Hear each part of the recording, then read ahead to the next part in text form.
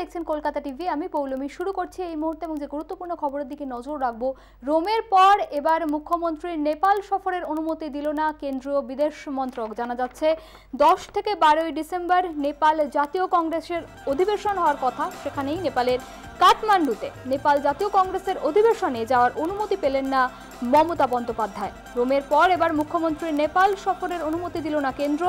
সূত্রের খবর, বিদেশ দফতরের তরফে মেলেনি সফরের ছাড়পত্র। প্রসঙ্গত, এর আগেও বিদেশ মন্ত্রকের পক্ষ থেকে মুখ্যমন্ত্রী মমতা বন্দ্যোপাধ্যায়ের রোম সফরে সায় মেলেনি। সেখানে বিশ্ব শান্তি সম্মেলনে যোগ দেওয়ার কথা ছিল তার। মমতা বন্দ্যোপাধ্যায় একমাত্র ভারতীয় যিনি সম্মেলনে নিমন্ত্রিত ছিলেন।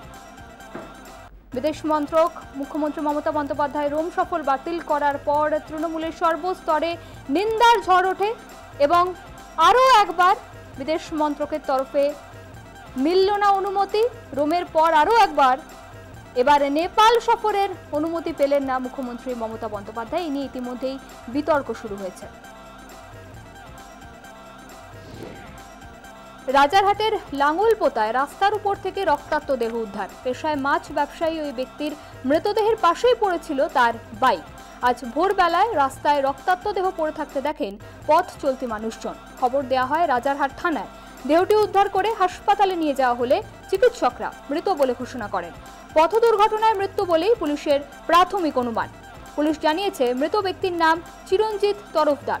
শুক্রবার ভোরবেলা মাছ কিনতে বাইকে করে যাচ্ছিলেন তিনি। সেই সময় কোনো গাড়ি তাকে ধাক্কা মেরে পালিয়ে যায়। তবে ঘাতকের এখনও খোঁজ পাওয়া যায়নি। গাড়িটিরও খোঁজ চলছে। মৃতদেহ ময়নাতদন্তের জন্য পাঠানো হয়েছে। তবে পথ দুর্ঘটনায় মৃত্যু নাকি এর পিছনে অন্য কোনো কারণ রয়েছে, খতিয়ে দেখছে রাজারহাট থানার পুলিশ। ফের ভল্লুকের আতঙ্ক, জলপাইগুড়ির ধূপগুড়ির মাল ব্লকে। বৃহস্পতিবার রাতে মাল শহর থেকে ভল্লুক উদ্ধার হয়েছিল। তবে এবার ব্লকের গুড হোপ চা বাগানে রাত আটটা নাগাদ দেখা মিলল ভল্লুকের। স্থানীয়রা জানিয়েছে, একটি কচু বনে লুকিয়ে বসেছিল ভল্লুকটি। স্থানীয় শ্রমিকরাই তাকে দেখতে পায়।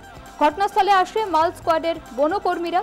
তবে তারা আসার আগেই ভল্লুকটি সেখান থেকে পালিয়ে যায় বলে জানায় বন দপ্তর। তারপর থেকেই মাইকিং করে চলে স্থানীয় বাসিন্দাদের সতর্ক করার কাজ। ঘটনাকে কেন্দ্র করে তীব্র আতঙ্ক ছড়িয়েছে গোটা এলাকায়। ফের ভল্লুকের আতঙ্ক জলপাইগুড়ির ধূপগুড়ির মাল ব্লকে।